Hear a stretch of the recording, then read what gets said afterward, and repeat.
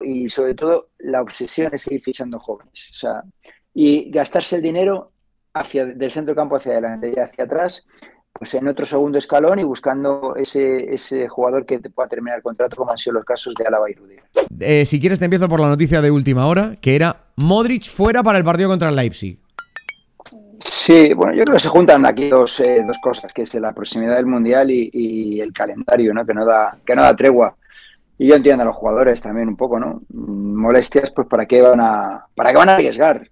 Yo sinceramente creo que, que es normal, ¿no? Que a estas alturas de, de la temporada quedan tres semanas y, se está viendo, ¿no? Que cualquier partido, cualquier gesto ya nosotros mismos, ¿no? Empezamos a decir, uff, se pierde, se pierde el mundial, ¿no? Ha pasado con Barán, ha pasado con, incluso ayer cuando Gaby se lesiona, todos nos acordamos de la, de la selección. Bueno, yo creo que es eso, ¿no? Benzema también se sintió molestias. Yo creo que Benzema tiene algo más que molestias, alguna ligera lesión, no me, no me dicen que el grado que sea, sea preocupante, pero sí que... que la, pero algo está pasando, ¿no? Cuando se reserva en Getafe, vuelve a hacerlo ahora, no, no debe tener las mejores sensaciones él. No, y aparte yo creo, fíjate, eh, no sé si es por el arrancar la temporada un poco más tarde que los demás, que empezó una semana más tarde, el caso es que no ha adquirido ese punto y fíjate, el otro día se le veía ya mejor el día de leche, ¿no? Pero aunque también es cierto que yo el día de leche eh, le vi sí. una jugada en la que se tocó la pierna en sí. los últimos minutos, quedando 10-12 minutos, y como siguió, pues no le da importancia. No sé si será ese el, el motivo, ¿no? En un gesto que hizo en el, en el partido. Sí. Bueno, la, la, también es cierto que ahora los jugadores, en cuanto se, se dice que se conoce mucho su cuerpo, y es cierto, ¿no? Que cada vez se conocen más cuerpos y que cada vez están como hay tanto control, eh, a mí me cuenta que en el día a día en el Madrid, me imagino que en todos los equipos de élite, los controles que se hacen a los jugadores vienen a indicar siempre si puede haber riesgo de lesión o no la puede haber. Luego, lógicamente, un gesto explosivo, un gesto imprevisto, pues, pues te puede llevar a, a, una lesión, pero sí que tienen todo bajo control, bastante, bastante bajo control. Y bueno, en el caso de Benzema siempre se ha dicho que conoce muy bien su cuerpo, que antes de las lesiones, de hecho Benzema no ha tenido ninguna lesión así de larga duración, que siempre da el paso atrás ante cuando siente el primer aviso. Y bueno, sí. pues eh, estamos ante, ante una situación parecida, ¿no? Eh, quiero preguntarte también, es que tengo muchas cosas de para ir picoteando salsas. Eh, no sé si has visto ya lo que se ha publicado entre ayer y hoy. Ha publicado Le Parisien los contratos de Mbappé y esta mañana de Messi y de Neymar. El de Mbappé, como ya suponíamos, es el mayor contrato de la historia del deporte, superando el de 555 millones de euros de Messi con el Barça en 2017 se cifra en 630 millones de euros brutos en las temporadas que se quede Mbappé, en las tres temporadas que se quede Mbappé. Es decir, más de 200 millones de euros brutos por temporada cumpliendo todas las premisas que es quedarse, básicamente. Mm, creo que lo habíamos hablado ya, que estábamos ante, sin saber las cifras exactas, a, mí cuando, cuando renueva Mbappé me vienen un poquito a decir que, que, estamos ante el, ante el mayor contrato. De hecho, yo publico, pero yo hablo con Juancho y digo, mira, yo no voy a publicar las cifras que me han dicho porque tú puedes decir una cosa y, te lo nieguen, ¿no? De una manera, mm, buscarte un lío de una manera absurda. Me hablaban de cantidades eh, rondando los 700 millones por esos tres años. Mira, pues no iban muy, muy descaminados. Sí parece ser que es verdad el, el contrato que ha publicado el Parisien.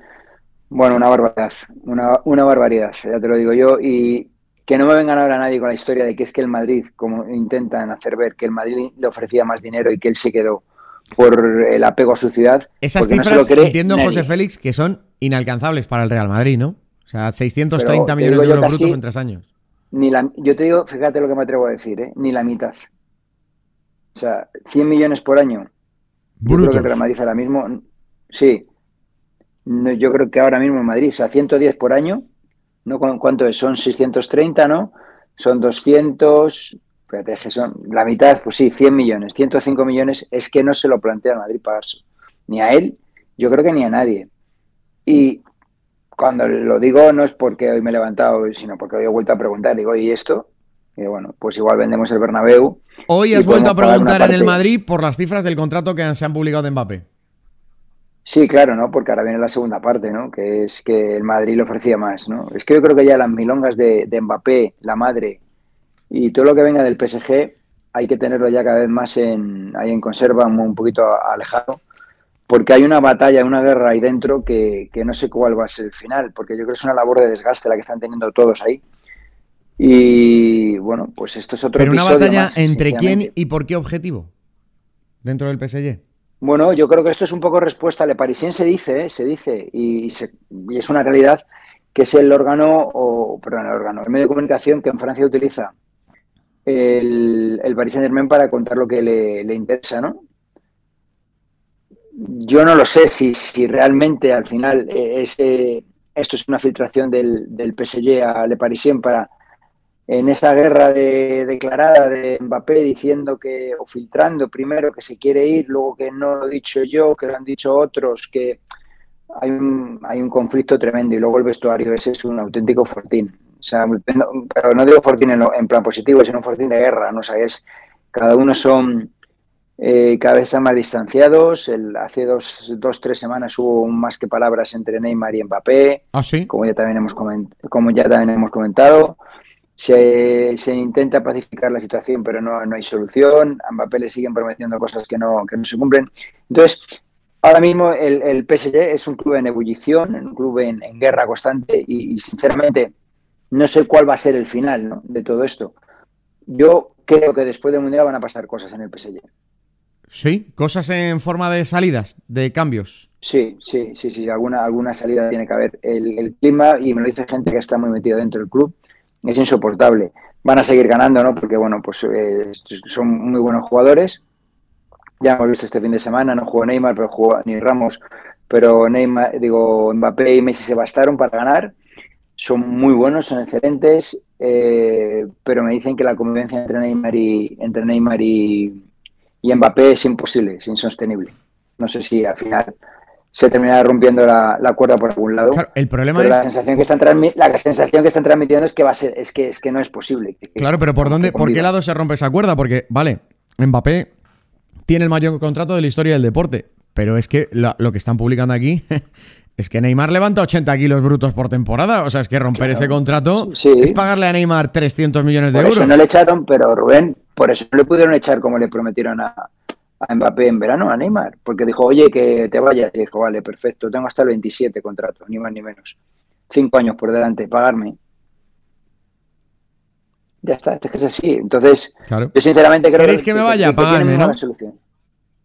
Claro, si es que es así, en el fútbol de hoy en día tú tienes un contrato, ¿por qué te vas a ir? Págame. Ya. Yo estoy aquí a gusto. Si molesto a alguien, es problema de ese alguien, no, no, no es mío.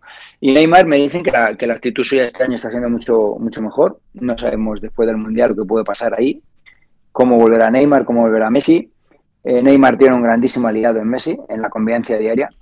Pero el PSG tiene un problema. Tiene un problema que yo creo que cuando renovó a Mbappé, más allá del dinero, ¿eh? más allá del dinero, no, no pensé que podía, que podía estallar tan pronto, ¿no? Que, que, esa convivencia que más o menos eh, se aguantaron unos a otros el año pasado, este año iba a saltar por los aires. ¿Sabes lo que pasa? Que yo, en realidad, o sea, no digo por la convivencia, pero que era evidente que iban a tener un problema con, con Mbappé si no le cumplían lo que le habían prometido para quedarse. Y entre las cosas que le prometieron, parece que estaba dominar el vestuario, y entre ellos es Neymar a tomar por culo si no se lo cumple, se te va a enfadar. Ya, pero Rubén, claro, y Rubén, y encima ahora tienes un, problema, es que antes, hasta la renovación, Mbappé estaba por detrás de Messi y Neymar, ahora está por delante. Claro.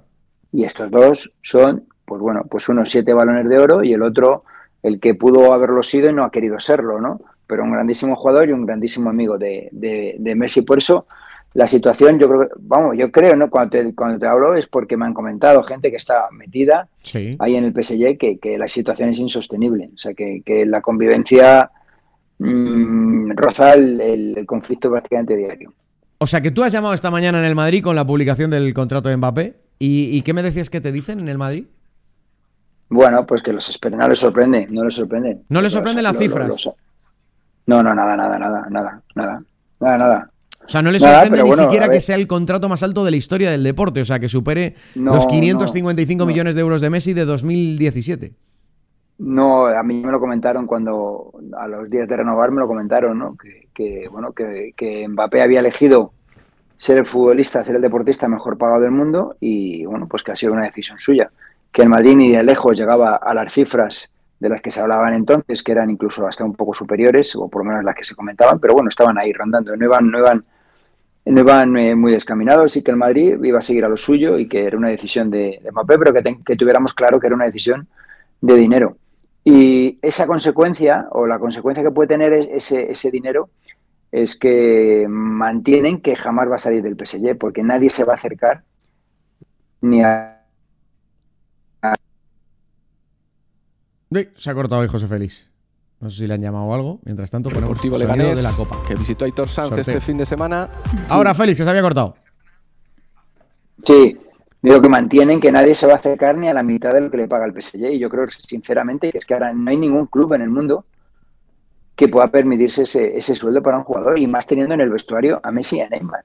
Claro. Aquí yo quiero ver hasta dónde llega la norma. De todas maneras, es que con los contratos que se han mm, publicado hoy, o sea, yo creo que a la UEFA se le debería poner la cara roja porque Le Parisien, medio cercano a la propiedad del Paris Saint Germain, publica que Messi son casi 90 brutos, que Neymar son casi 80 brutos y que Mbappé son 200. O sea, es que la masa salarial está cubierta con tres jugadores. Entonces, ¿cómo justificas que eso pueda pasar?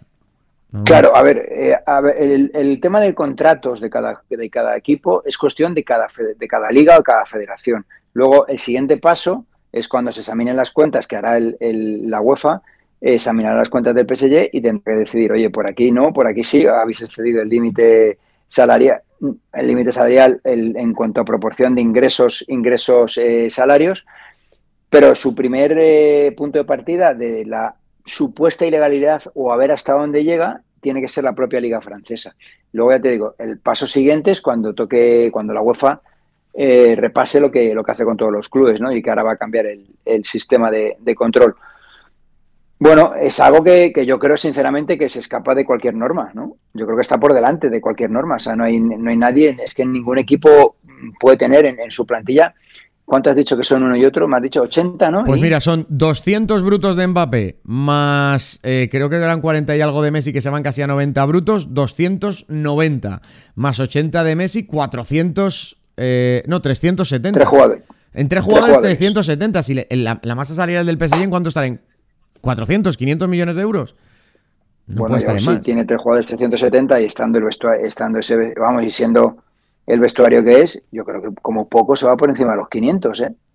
Como poco. O sea, que, hay otros 22 jugadores que no, no ganan dos euros, ¿eh?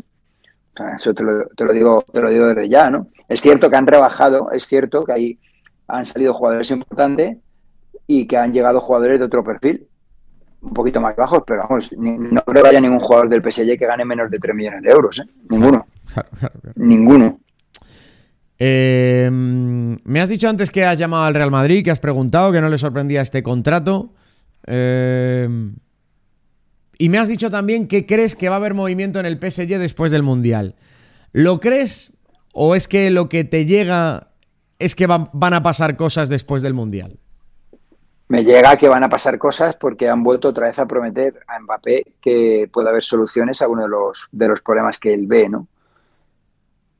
Pero yo para calmar el último enfado de Mbappé es en el que se llegó a filtrar que quería salir en enero. El PSG trata de frenarlo diciéndole no te preocupes, Kylian, que en cuanto pase el Mundial mm, nos limpiamos. Es que, aparte, Mbappé, es que Mbappé tiene que darse cuenta de una cosa, que es que no va a encontrar a nadie, a nadie que se acerque a ese dinero, o sea, ni de lejos y no va a renunciar al dinero porque es que ese dinero fue el que aceptó para rechazar al Real Madrid. Entonces, claro, ahora mismo mm, su círculo de actuación es muy reducido. Es aguanto aquí en el Paris Saint Germain y el Paris Saint Germain tiene que cumplir lo pactado porque no, porque no lo está haciendo. ¿Que lo puede hacer? Yo sinceramente lo veo muy complicado que a Neymar le consigas convencer de que se vaya. No lo sé, yo sinceramente, a mí me siguen diciendo que va a haber, porque tiene que haberlos, esos movimientos en, en, enero, pero yo no lo veo fácil, no lo veo sencillo, aunque esa promesa siga estando ahí. ¿eh? Pero, a ver, la situación es que claro, a, Neymar convencerle de que se vaya, ¿cómo lo convences? O sea, Neymar tiene un contrato firmado de más de 70 millones de euros, según publica Le Paris, y en brutos por temporada. La única manera de convencer a Neymar de que se vaya es toma el dinero y vete a otro sitio. Pero no, no creo que tenga el dinero para poder hacer eso. No, se habla de, pues eso, de cuatro, son cinco años, me parece que lo que le, lo que le resta de contrato este y cuatro más. Si es que está recién pues, eh, renovado, Félix. Neymar está recién renovado como Mbappé. Claro, pero a ver, esa fue la codicia de. la codicia de Qatar, la codicia de al la, la, codicia del PSG de, querer reunir ahí una cantidad de cromos eh, para, bueno, para, para, estar por delante de todos y que el año pasado no le valió, la temporada pasada, y vamos a ver si esta le vale o no le vale. Y entonces eso, eh, a Neymar se lo dijeron cuando volvió. Recuerda que hemos hablado, y que te tienes que ir. Vale, muy bien. Yo de aquí no me muevo. Y es así, porque aparte ahora de todo hay un factor que se llama factor Messi. Messi sí que se ha involucrado un poco más en el equipo, se ha involucrado más. El año pasado estaba como anestesiado después de que, del shock de salir del Barcelona. Y este año, pues bueno, pues tiene el incentivo del Mundial, el incentivo también de poder ganar la Champions y está en otro modo. No sabemos si le va a dar, eh, eh, va, a dar su cuerpo, le va a dar para estar así toda la temporada. Pero cuenta con un aliado en el terreno de juego, que es en la, fuera del terreno de juego, que es Neymar, y luego dentro, evidentemente, como se ha quedado demostrado este, este fin de semana, por ejemplo, sin ir más lejos, Mbappé es un aliado, ¿no? Porque Mbappé es un grandísimo jugador, no lo podemos negar, pero el día a día, ¿eso es eh, soportable? Uf, yo lo veo complicadísimo, muy complicado. Por lo que me dicen, ¿eh? no es una apariencia, no es una cuestión de una idea mía, sino por lo que me dicen. Ya. Eh, vamos al futuro, al mercado del Real Madrid, Félix. Eh, ¿Sigue siendo Bellingham la prioridad, el objetivo número uno para la próxima temporada del Real Madrid? Sí, sí, sí. Bellingham que no se escape, que sea el siguiente ¿no? de esa cadena que parece ideal que están haciendo, ¿no? De primero Camavinga, luego Chomení, ahora, ahora, ahora posiblemente Bellingham, no es el único. Pero también quiero a ver, que la gente no se haga pajas mentales. ¿eh? O sea, eh, a raíz de que este fin de semana, después del partido contra Sevilla, Cross diera esa vuelta al ruedo y besándose el escudo, tocándose aquí el escudo, la gente ya ha dicho, no, esto es el final de Cross. No, no, Cross lo hace en todos los partidos que se disputan en el Bernabéu. O sea, Cross maneja su tiempo y de momento, según mi noticias, eh, igual estoy equivocado, no ha dicho nada al Madrid de seguir o no seguir. Cross se encuentra en un estado de forma eh, superior ahora mismo al resto, o sea, está eh, que se sale, está por encima de su media física, por lo menos aparentemente, yo ya hablo aparentemente de lo que se le ve, y no hay ninguna decisión, como tampoco la hay de Modric. Eso va a ser más adelante. Que se van. Incluso cuando hemos hablado después del Mundial, ¿no? O sea, quiero decir que será una decisión suya porque por el Madrid renovarían los dos, pero que los dos terminan contrato y serán ellos los que decidan si se quedan o se van.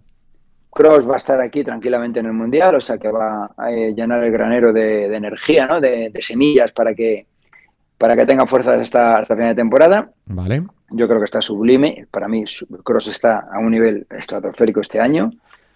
Y no hay respuesta alguna.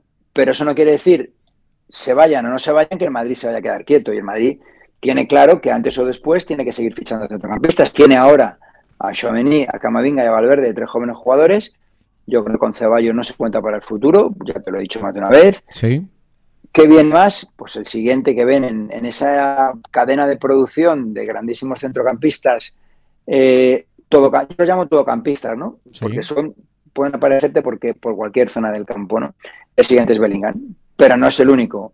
Ya, ya te aviso que dentro de poco el Madrid va a echar un vistazo profundo y muy directo a Hendrik, ya compitiendo con los mayores, el delantero, aunque nunca sería para nunca sería para la próxima temporada porque no puede legalmente. El jovencito brasileño del que hemos hablado tanto que al parecer del Palmeiras eh, eh, viene ya está jugando con el primer equipo. 16 años, ¿no? Ya está apareciendo. Tiene 16 años cumplidos en julio, si no, me, si no recuerdo mal y ya está jugando con el primer equipo, 15, 20 minutos y cada vez su aportación. El otro día tuve, tuve la fortuna de ver un ratito del partido, la parte final, no sé si se llama Amos, el rival, un equipo de segundo nivel que está en la cola del Irao. Palmeiras se sigue jugando el título que lo tiene prácticamente ganado. ¿Contra quién pelea el Madrid por, por Porque parece que estaban ahí todos los clubes importantes, ¿no? Bueno, ahí se, ha hablado mucho del Barcelona, ¿no? Que ha ido, que ha ido a, a Brasil. Yo creo que Enrique, el Madrid tiene una ventaja, que es el mismo representante que, Vinicius, y que no hay, no hay mucha prisa, no hay una urgencia, ¿no? Como puede tener Barcelona. Y bueno, pues como en el caso de Bellingham también tendrá mucho que ver, eh, evidentemente en este caso el desarrollo ya en un fútbol profesional como es el que está ahora, el deseo del jugador, ¿no? ¿Cuál es el deseo? es que son dos casos distintos, ¿no? Porque, porque Bellingham es un futbolista ya contrastado que este año está jugando Liga de Campeones con el Dortmund. Se habla de un precio de mercado ya de 100 millones o por encima de 100 millones de euros. 19, 19 años, ¿eh? 19 años, claro. Capitán, capitán del Dortmund. Claro. Y, y, Hendrik es otra cosa, sería un futbolista para dejarlo allí todavía una temporada más y no sé en qué precio se está hablando Hendrik. se está hablando de 60, 70 millones, ¿no? Por eso que es una operación de mucho riesgo, ¿no? Es una operación a firmar a, año y medio vista y ver cómo evoluciona. Por eso quieren verle ahí ahora un poquito, ¿no? En, eh, eh, recuerda que, la familia y el propio que estuvo en el mes de marzo por, por toda Europa, bueno, por toda Europa, París, Barcelona, Madrid, bueno, pues estuvo un poquito conociendo lo que son el ambiente de cada club y... ¿Ha hecho turné en Yo creo que lo hizo, la hizo, la hizo, fue pública, fue pública. Ah, no lo sabía, no lo Yo creo que estuvo, creo que estuvo el día del Paris Saint Germain en, el parque, en el parque del Parque de los Príncipes. Estuvo aquí en Madrid, también estuvo en, Barcelona. Bueno, yo sinceramente lo que creo que aquel día fue, eh, lo que hizo fue conocer un poco, ¿no? Lo que le podría esperar ver un poco el impacto también para chavales, que en ese momento tenía 15 años, para ver el impacto del, de lo que es el fútbol europeo. Sí. Y bueno, me cuentan que la familia, bueno, pues es de, tranquila, que quieren también tomárselo con, calma. Y vamos a ver ahora. Yo creo que tiene.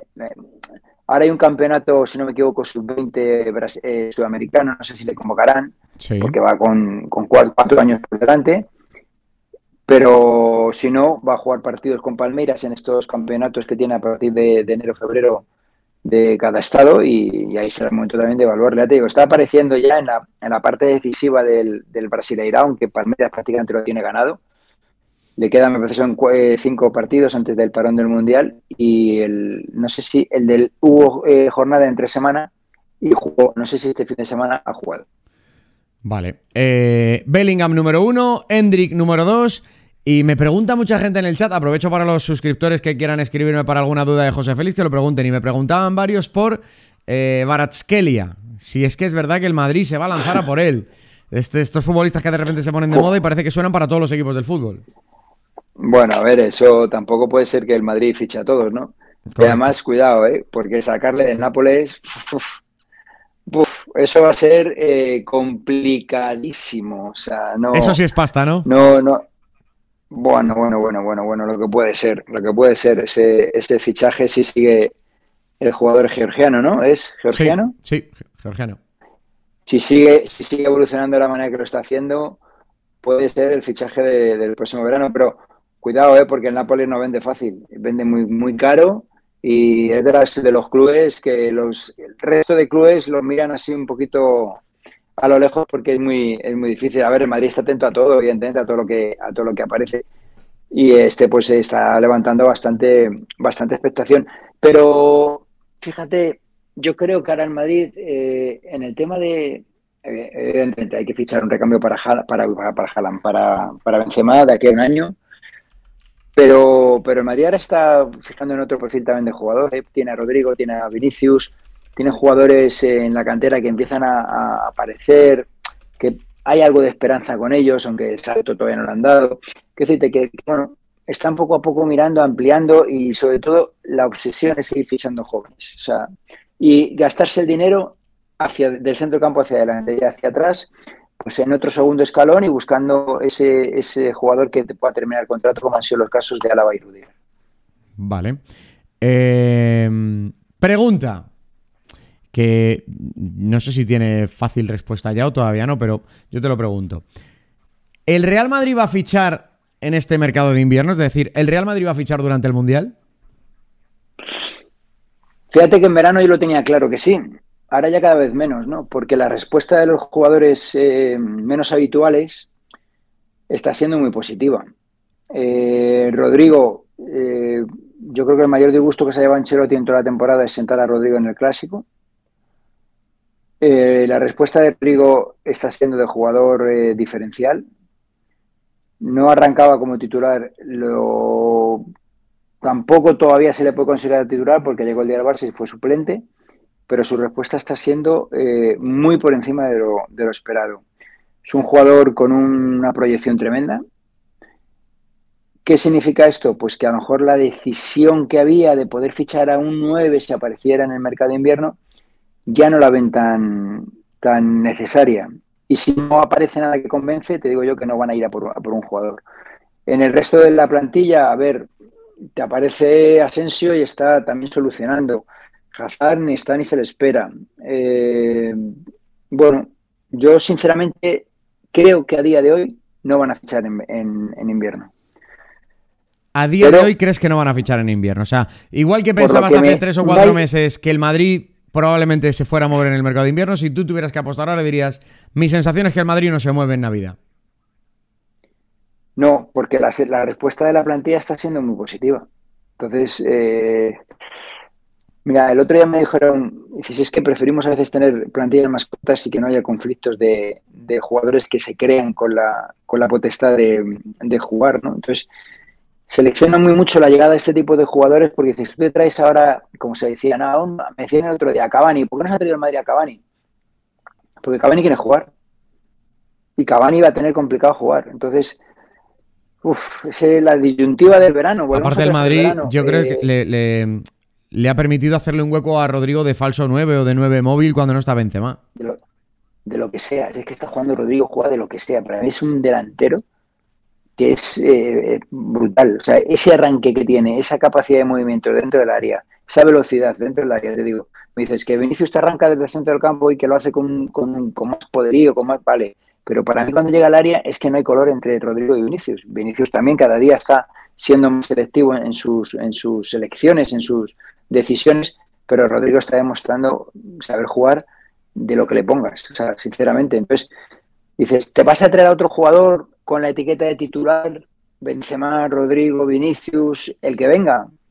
Uf, el Madrid no tiene nada claro ese movimiento todavía, no lo tiene nada, claro. Porque volvemos también al centro del campo. Está Chomení, Kroos y Modric, que parecen ser los, los tres eh, titulares, pero ahí está Camavinga también, que se pide que juegue más. Pero si es que. Entonces, ese, esa disyuntiva de tener 15, 15, 16 titulares titulares, mm, si pasa con Rudy, que también en defensa. Claro. cuando no está, decimos que por qué no juega, ¿no? Pero claro, es que para que juegue Rudiger tienes que dejar fuera o bien a Mendy, o bien a Álava, o bien a, a, Militao. Esa es la realidad, ¿no? Incluso Nacho, ¿no? Que por qué ha jugado tan poco. Es verdad. Bueno, pues es que es, que es la realidad. Entonces, y en media temporada meter a alguien ahí, no, sé, no, no, no lo veo, ¿eh? No lo veo. No lo ves. Em, no lo veo, ¿eh? no, lo veo por cómo les siento. ¿eh? Yo no me han dicho no vamos a fichar a nadie, porque como siempre me dicen en el Madrid, cuando se abre un mercado, las piezas y ver qué puede aparecer. Hay un a tema... Mbappé le van a fichar. A Mbappé no, seguro. Y a Haaland de momento tampoco, porque la cláusula liberatoria es para dentro de un tiempecito. Eh, Exactamente. Hay un asunto de esta semana que yo creo que es la que preocupa a todo el fútbol español ahora, que tiene que ver con. Em, el, posible paro patronal. Estamos ante la aprobación de una nueva ley del deporte en la que en teoría la federación adquiriría atribuciones que le pertenecerían a la liga, hay acusaciones cruzadas y esto puede terminar con el jueves en una asamblea general extraordinaria de la liga parando el fútbol el fin de semana. ¿Qué piensan en el Madrid? Feliz, porque el Madrid es uno de esos tres clubes que en teoría estaría ganando esta batalla que habría permitido que PP y PSOE se pusieran de acuerdo para aprobar una ley del deporte que permita que los clubes puedan jugar la Liga Española y la Superliga. A ver, eh, mantienen que, todos estos movimientos es que se están produciendo es para dar una cobertura legal al acuerdo con que firmó la Liga o los equipos de la Liga, menos Barça, Atlético y Real Madrid con CVC. Eso es lo que lo que dicen, ¿no? Entonces, eh, el Real Madrid, evidentemente, dice se han puesto de acuerdo al PP y al PSOE, que probablemente sean lo único que se han puesto de acuerdo en los últimos, eh, en el último siglo, por así decirlo, pues no debe estar tan mal. Bueno, competencias de uno, competencias de otros. Eh, siguen manteniendo que el crédito que, que, pusieron sobre la mesa para que no saliera lo de CVC sigue siendo mejor que el acuerdo con CVC y que sigue estando ahí y que podrían sumarse los clubes a, ello. Bueno, evidentemente se ha comprobado ¿no? en los partidos de esta semana. El cartel que aparecía y que desaparecía cuando jugaban Madrid, Atleti y, Barcelona. ¿no? Bueno, tema político, tema de lucha de, poder, pero el Real Madrid lo tiene muy claro. El Real Madrid cree que va a ganar, eh, porque este tema también está judicializado por parte del, del Real Madrid, igual que el tema de la Superliga y creen que la justicia le va a dar la razón. Entonces, eh, el posicionamiento es evidentemente. Se va acercando ya la deadline de todo, ¿no? O sea, lo de parece que lo de la ley del deporte es mañana se aprueba y si es favorable al Real Madrid, al Barça, o sea, que les permita jugar la Superliga y a la vez la Liga Española, La liga eh, va a parar la competición como un paro patronal este fin de semana en protesta.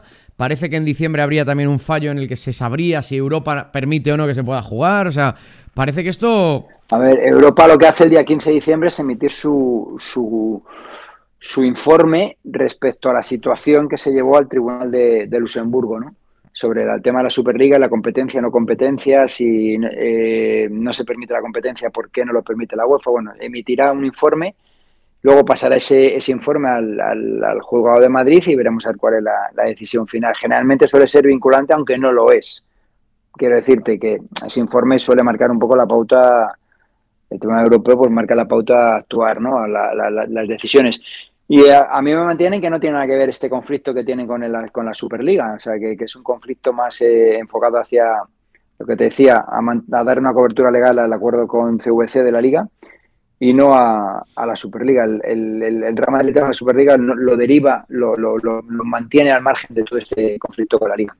Yo creo que puede tener hasta sentido y creo que puede ser una solución intermedia porque hemos visto que esta mañana la abogacía del Estado venía a autorizar el fondo CVC, venía a legalizarlo, digamos, y la abogacía del Estado depende del gobierno, entonces no descartemos que sea un apaño político, es decir, Liga, te garantizo que CVC para mí es legal, gobierno de España, pero al Madrid y al Barça les voy a dejar jugar la Superliga y tenéis un poco todos. Puede ser. Me da esa sensación. Ser, ¿no? ¿eh? Yo creo Sí, sí. Eh, en estos temas políticos al final los acuerdos son así, ¿no? Yo te doy por aquí, te quito por allá, pero bueno, al final todos cedemos y todos ganamos o o se intenta que no se pierda a nadie. Hay un conflicto abierto, la federación también se ha pronunciado eh, a favor de esta de, de, la situación. O sea, bueno, pues no sé, yo creo sinceramente que el fútbol español necesita una paz que no, que no existe, una paz eh, social, guion política, que no, que no existe y huir de lo... A mí no me gusta, ¿eh? te lo digo en serio, cuando veo en redes sociales ciertas descalificaciones, no creo que sean las más adecuadas. Yo creo que el diálogo tiene que existir siempre entre los dirigentes, pero bueno, maneras de gestionar. Pues nada, Félix, vamos hablando durante la semana, ¿eh? eh ya veremos qué pasa con sí, la Champions. El Madrid clasificado, el Barça contra el Bayern se juega lo último que le queda, si es que... Te digo, se van a clasificar dos equipos españoles, lo tengo clarísimo. Lo dije en el sorteo, ¿eh? Lo dije en el sorteo, que se clasificaban Atlético y Real Madrid y lo mantengo. Ojo, pues esa apuesta... Lo dije, lo dije, lo dije en Estambul, ¿eh? Me preguntaron y lo dije. Y dije, yo creo que se van a clasificar Atlético Madrid y, y, y, Real Madrid. El Atlético Madrid está jugando con fuego, pero creo que es mejor equipo que los rivales que tienen en el grupo. Lo ha dicho un hombre, lo ha dicho José Félix Díaz. Eh, Félix, vamos hablando, ¿eh? muchísimas gracias. Un placer, chao. Cuidaros. Un abrazo, chao.